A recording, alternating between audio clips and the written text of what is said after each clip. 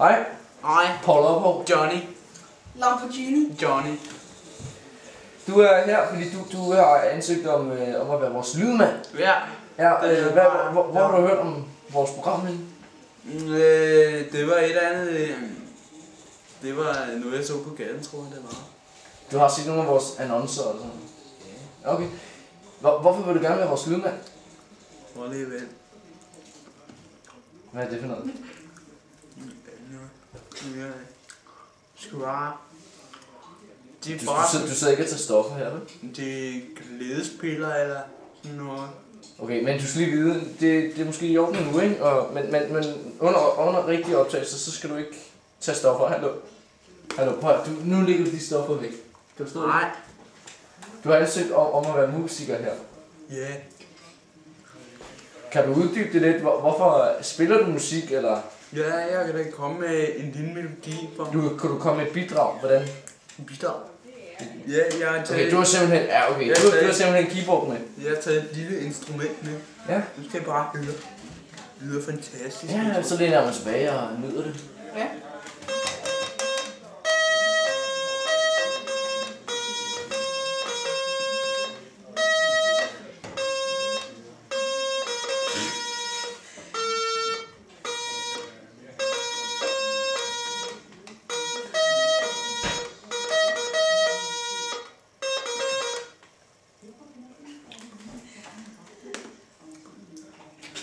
Prøv de der stoffer der.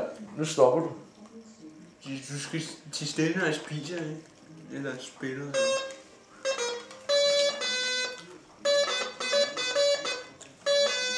Så er jeg færdig. Ja, det, øhm, jeg ved ikke lige, om det er det rette. Altså, hvis du får ordentlige instrumenter, nu kan jeg se det sådan legetøjs. Hvis du får ordentlige instrumenter, tror du så, du kan spille noget ordentligt? Jeg købte den på et lokkemarked i um, Bilum. Et lokkemarked. en, en lokke... Jeg kan ikke Ja. huske, hvad det Loppemarked. Loppemarked. Hvis- der er, du får nogle ordentlige instrumenter, tror du så, du kan spille noget, der er en, tand bedre end det der? Ja, 10 gange bedre, mand. Det bliver super. Ja, okay. Jamen, Ja, det, det, det glæder vi os til. det kan vi nok godt. Jamen, det er fint. Så, så det er en aftale. Du er vores Tak. lydmand fra nu af. Johnny. Johnny, ja. Men også husk de der stoffer der, dem skal du nok øh, holde lidt Godt. igen med, ikke? Nej. Jo, de der. Altså, prøv, nu lægger du de der væk. Vi gider ikke. Du kan spise dem, når du kommer ud. Du, du står. Det skal ikke være herinde i studiet, vel? Okay. Ja, det godt.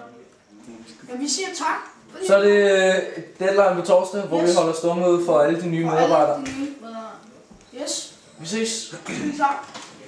Kom godt hjem. Ja, farvel. Nå. Øh. Åh.